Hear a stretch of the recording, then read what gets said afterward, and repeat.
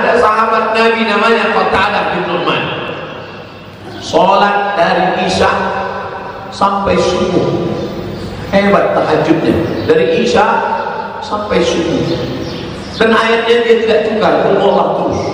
Rakaat pertama kul Allah rakaat kedua kul Allah rakaat ketiga kul Allah rakaat keempat kul Allah dilaporkan sama temannya kepada Nabi ya Rasulullah ya ada seorang laki-laki. Siapa namanya? Qatadah bin Nu'man. Kenapa dia? Dia sholat ayatnya tidak ganti-ganti Allah terus. Ini perbuatannya ini bid'ah ini karena tidak pernah dibuat Nabi. Berani-berani dia sholat ayatnya Allah terus. Kata Nabi sallallahu alaihi wasallam innaha ta'dilu thulutsan Quran. Kul Allah sama dengan sepertiga Al-Quran. Dia baca tiga kali. Sepertiga sepertiga sepertiga berarti dia sudah menghatamkan satu Al-Quran. Berarti dia sudah hatam Quran berkali-kali tadi malam. Itulah hebatnya Allah jadi kalau ada ibu punya suami sholat tahajud ayatnya Allah terus. Itu bukan berarti dia tidak hafal ayat yang lain. Tapi karena dia cinta kepada Allah dan dia ingin mengulang-ulang ayat-ayat Al-Quran dalam sholatnya. Inilah dalil yang selama ini kami tunggu Pak Ustaz hafalannya tak banyak ayatnya Allah terus bagi yang hafalnya banyak silakan baca ayat-ayat yang lain. Bagi yang tidak kul wallah saja. Kul wallahu ahad illahu samad lam yalid wa lam yulad wa lam yakul ahad. Gimana kalau terlambat bangun Pak Ustaz? Jam 5.30 kami bangun. Jam 5.30 bangun. Jangan langsung sholat subuh. Wabliyah subuh. Bagaimana kalau ke masjid imam sudah. Dua menit lagi. Dua menit lagi. Tinggal dua menit. Kebetulan di masjid itu ada jam dinding yang menunjukkan waktu iqamat dua menit lagi. Dua menit lagi. Dua menit lagi. Kalau dia tahiyat al masjid tidak dapat qabliyah subuh. Karena waktunya pendek. Dua menit tidak dapat empat rakaat qabliyah subuh tahiyat al masjid tak dapat qabliyah subuh tapi kalau dia qabliyah subuh otomatis dapat tahiyatul masjid. Kalau cuma qabliyah subuh, kalau cuma tahiyatul masjid, masuk masjid, usulli sunat tahiyatul masjid, tak dapat qabliyah subuh. Tapi kalau dia sholat qabliyah subuh, otomatis dapat tahiyatul masjid. Tapi jangan gara-gara ini datangnya terlambat terus. Nah, setiap subuh datang terlambat. Kamu kenapa terlambat? Kata Ustaz Salman kemarin, datang qabliyah subuh otomatis dapat tahiyatul masjid. Mana tahu terlambat. Yang paling afdal adalah datang cepat. Setelah itu masuk masjid, tahiyatul masjid. Di mana tadi tahiyatul masjid? Di sana. Qabliyahnya di sini. Tahiyatul masjid sana. Qabliyahnya di sini. Setiap tempat-tempat sujud kita akan bersaksi di akhirat. Masjid Agung bersaksi di akhirat bahwa Abdul Somad yang datang dari Nun ujung Sumatera Indonesia pernah sholat di sini akan bersaksi di hadapan Allah. Masjid saya sholat di Banjarmasin masjid. Saya sholat di ujung Pandang. Masjid saya sholat di Surabaya di Semarang di Yogyakarta saya ceramah. Masjid-masjid tempat saya sujud menjadi saksi dan mudah-mudahan kening kita nanti bersujud di Masjidil Haram, di Masjid Nabawi dan di Masjidil Aqsa insyaallah. Amin. Bersaksi di hadapan Allah. Makanya nanti kalau pergi musafir mampir ke masjid sholat, mampir ke masjid sholat. Ini ada juga orang yang pulang pergi perjalanan jauh, mampir ke masjid, mampir ke masjid, mampir ke masjid, keterangan kencing, kencing, kencing. mampir ke masjid cuma masuk ke kamar mandinya, berwudu, habis wudu masuk. Kalau kebetulan pagi sholat duha, kalau kebetulan sore tahiyat dalam masjid.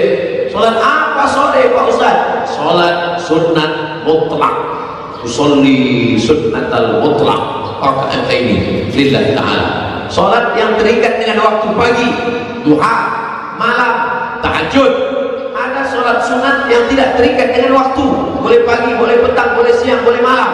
Tapi dia terikat dengan momen, momentum. Sholat sunat selesai wudhu, sholat sunat selesai wudhu, sholat sunat wudhu, usolli sunnatal wudhu, ini lillah taala. Nabi memanggil Bilal, Bilal, tahan kemari Bilal.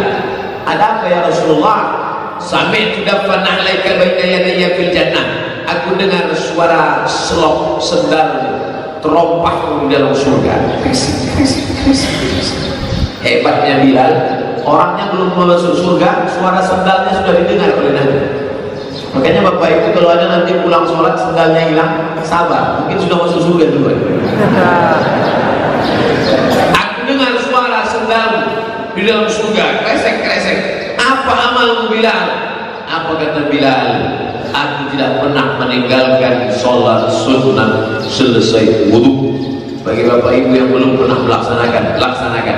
Bagi yang sudah terus lanjutkan. Mudah-mudahan kita istiqomah dalam sholat-sholat sunat ini insyaAllah. Amin. Ya rabbal alamin. Sholat subuh, zuhur, asar, maghrib, isya tidak bisa ditambah. Sholat subuh dua rakaat. Jangan karena terlampau rajin sholat subuh tiga rakaat. Sholat zuhur empat rakaat jangan karena terlalu rajin sholat zuhur empat rakaat dibuat jahat. Allahu Akbar. Bismillahirrahmanirrahim. Selesai sholat kenapa kau baca jahat? Supaya pahalanya lebih banyak. Kau tidak bisa. Man ahdata siapa yang menambah-nambah membuat-buat yang tidak dicontohkan Nabi fahuwa marud tapi sholat sunat bisa ditambah sholat sunat tahajud tambah sebanyak-banyaknya. Kata Pak Bupati Ustaz Somad nanti malam tidur di cottage di atas laut tepi pantai itu sholat tahajud musuh sekali di sana Ustaz. Merasakan kemuliaan keagungan Allah. Terasa suara ombak berdesir serasa di atas air. Masya Allah. Saya pun tadi malam bangun sholat tahajud. Oh gimana rasanya Pak Ustaz rasanya dia seperti bunyi air. Oh di tengah laut di atas laut merasakan keagungan di tengah laut merasa kita tak ada apa-apanya. Andailah tadi malam na'udzubillah terjadi tsunami. Itu yang saya pikirkan tadi malam ini kalau datang ini air disapunya rata dengan tanah akulah duluan tapi di situ pula rupanya kalau ingat mati terasa bahwa kita tak ada apa-apanya. La haula wala quwata illa billah. Ya Allah kalau kau matikan aku malam ini ya Allah kalau kau matikan aku malam ini maka besok pagi aku sudah tak buat dosa lagi. Tapi kalau kau takdirkan aku besok pagi hidup ya Allah aku akan ada amal pahala karena aku masih bisa ceramah di Masjid Agung WC Raja Ampat rupanya Allah masih sayang. Tadi masih terbangun saya oh masih hidup lagi maka saya bersyukur. Alhamdulillahilladzi ahyana ba'da ma'amatana wa ilaihi nusyur. Mandi. Paling bagus mandi malam. Jatuhnya mandi malam kena rematik Pak Ustaz. Nah yang rematik itu mandi sejak mulai tenggelam matahari azan maghrib sampai jam 12 malam. Yang kena rematik penyakit tulang tapi kalau sudah dimulai jam 1, jam 2, jam 3 bagus.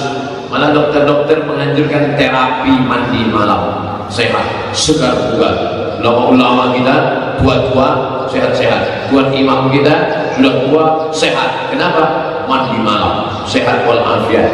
Karena malaikat suka dengan harum-harum. Habis mandi gosok gigi bersih pakai parfum minyak wangi baru sholat sunnah malaikat suka pada harum-harum. Makanya kata Nabi man akala basolan.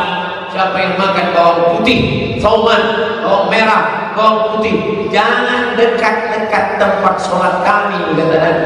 Kenapa?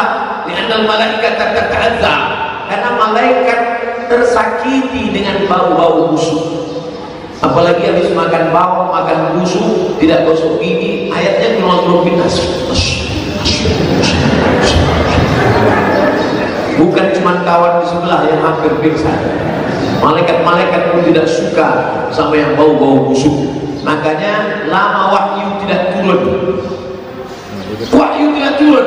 Sampai istri Abu Lahab mengejek Nabi Muhammad. Ah Muhammad wahyu sudah lama tidak turun kan? Tuhanmu sudah meninggalkanmu maka turun ayat ma wadda'aka rabbuka wa ma qala. Ma wadda'aka rabbuka wa ma qala. Meninggalkanmu. Tuhanmu tidak membiarkanmu. Tuhanmu tidak menyia-nyiakanmu. Wadduha lama turun. Lama surat Ad-Duha turun. Sampai akhirnya begitu surat Ad-Duha turun Nabi bertakbir Allahu Akbar. Allahu Akbar. Nabi senang karena malaikat sudah turun selesai turun makanya sebelum membaca surat Al-Duha itu bertakbir. La ilaha illallah wallahu akbar.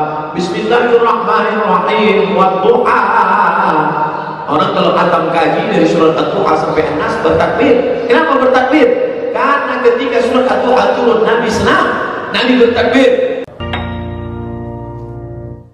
La ilaha illallah.